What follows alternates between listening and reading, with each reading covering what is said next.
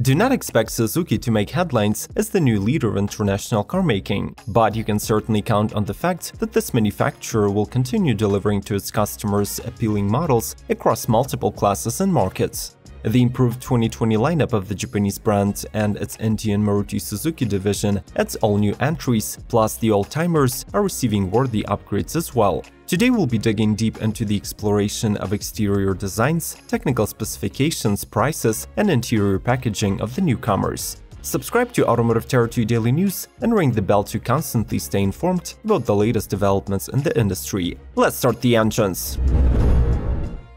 Suzuki Ignis the current generation Ignis arrived to the market in 2016, and now, four years later, it is getting a mid-cycle facelift.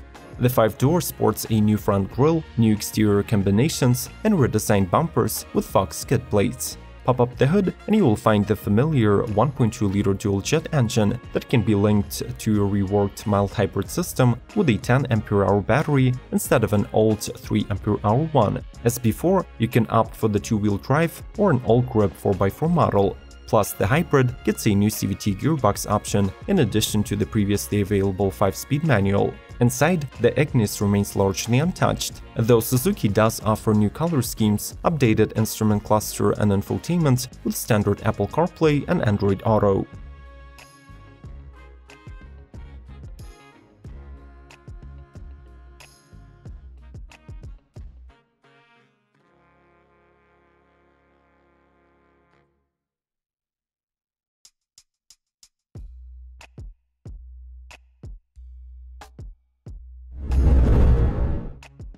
Maruti Suzuki Vitara Brezza.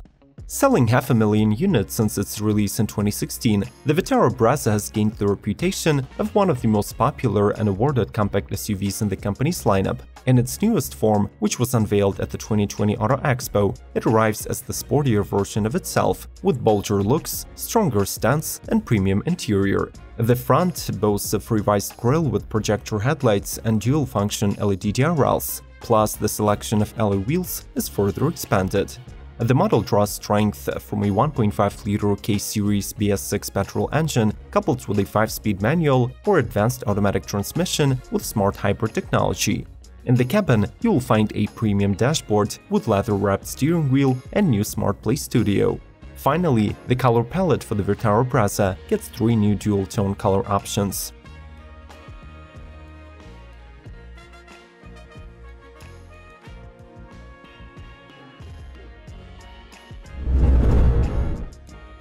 Suzuki Jimny the Scania Froder is perhaps the most manically desired model within the affordable segment, especially after the latest redesign. The fourth generation of the Jimny is still a body-on-frame SUV with a ladder frame chassis and beam axles in the front and rear. The previous iteration looked too docile, so the designers went for the more aggressive exterior. Under the hood, it carries a 1.5-liter four-cylinder engine that produces 101 horsepower and 96 pound-feet of torque. This mill gets mated either to a 4-speed automatic or a 5-speed manual transmission. Under normal conditions, the sub-rotor is operating with a rear-wheel drive, but there are also 4-wheel drive modes with the high gear and low gear settings.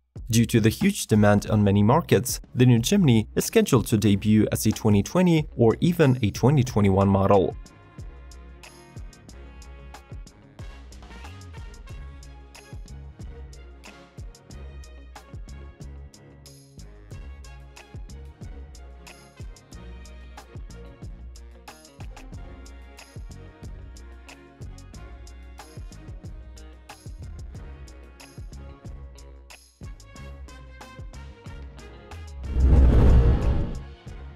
Maruti Suzuki S-Presso. Planned to be sold in Asia, South Africa and Latin America, the subcompact crossover aims to get a bite out of the Renault Kwid Spy on the market.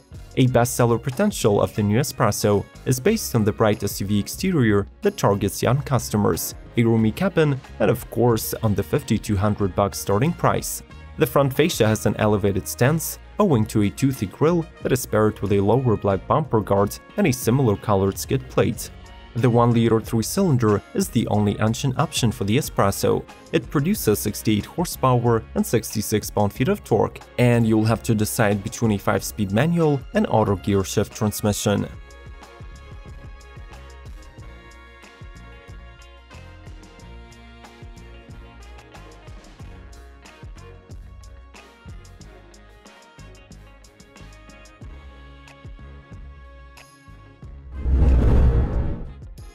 Suzuki Baleno Though discontinued in the UK for the 2020 model year, the subcompact Baleno hatchback feels alive and well, receiving a facelift globally. The model sits on the Heartect platform and sports revised bumpers, a bolder grille, and new 16-inch wheels. Higher trims can also be distinguished by the new projector LED headlights and LED DRLs. The engine choices for the Baleno vary depending on the country where you're shopping, though the presence of a new 1.2-liter dual-jet gasoline with 48-volt motor seems to be universal across all markets. The mill is paired exclusively with a 5-speed manual gearbox peaking at 9 HP. Inside, the car boasts improved interior materials, new two-tone color schemes, a more advanced driver instrument cluster, and 7-inch touchscreen.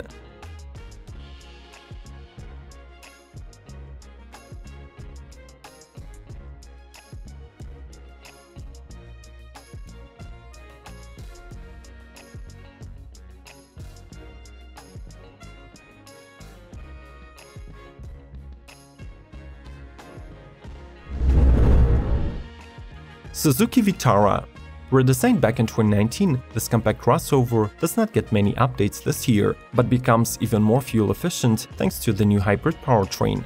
It uses an updated 1.4-liter booster jet, mated to a 48-volt hybrid system and a 6-speed manual gearbox. This configuration nets 129 horses, slightly less than the non-hybrid booster jet, but with more torque, 173 pound-feet to be exact. It can be had with a two-wheel drive or an optional all-grip four-wheel drive. Regardless of the chosen trim level and drivetrain, your Vitara will come with LED headlights and DRLs, U-shaped central console, and a 7-inch multimedia system with smartphone connectivity. In addition, the SUV driver assistance package now includes blind spot monitoring, lane departure warning, and prevention systems. Make sure to explore the entire Suzuki 2020 lineup and leave a comment mentioning your top pick. Like this video and let's keep going!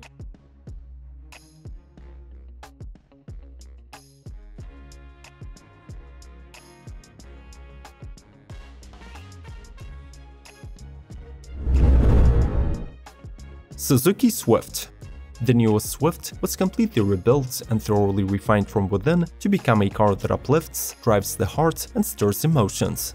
On the outside, it adds on the aggression side by widening the grille. The new LEDs up front give high-tech impression, while the dynamic side window treatment with pillar-mounted rear door handles boosts the sporty flair.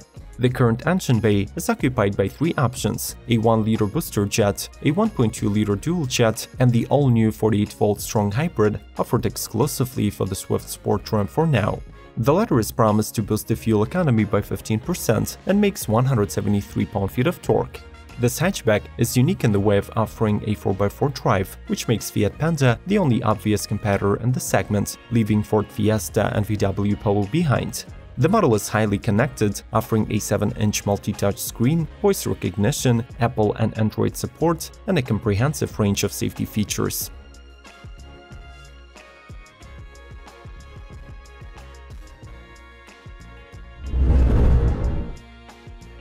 Suzuki SX4 S-Cross Three years after a major facelift, the second-generation Suzuki S-Cross remains one of the most strategic models in the company's range and holds a firm grip over a rather misty segment that is where the crossover begins and the SUV ends. In 2020, the model continues with the two fuel-efficient booster jet engines, delivering a superb balance between environmental compatibility and performance. The base models come with a 1-liter 3-cylinder producing 111 horsepower, while the optional 1.4-liter 4-cylinder makes 140 ponies. As standard, all trims are equipped with 16-inch alloy wheels, 7 airbags, air conditioning, cruise control, and optional LED DRLs. In addition, this spring, Suzuki starts assembling the S-Cross with a new 48-volt hybrid based on the current 1.4-liter. The company claims that the powertrain will offer more torque and a 15% improved fuel economy.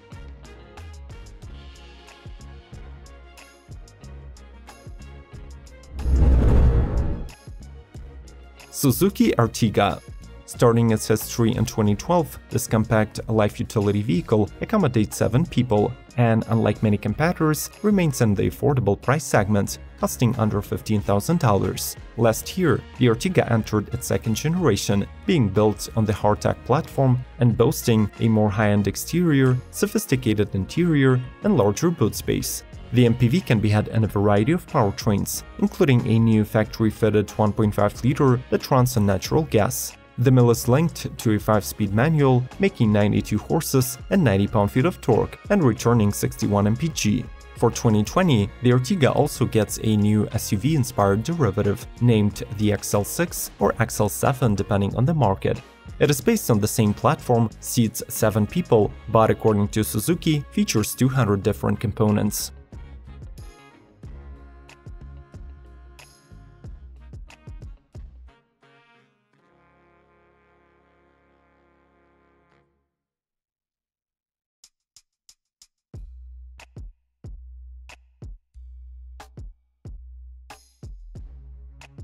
How does Suzuki stack up against other Japanese brands? Will their 2020 models get on your shopping list? Share your thoughts in the comment section below. Proceed with your quest of learning about the 2020 lineups by clicking on the icons on the screen. Leave a like, share, and subscribe if you want to get a dose of Automotive Territory daily news on a regular basis. We'll see you later.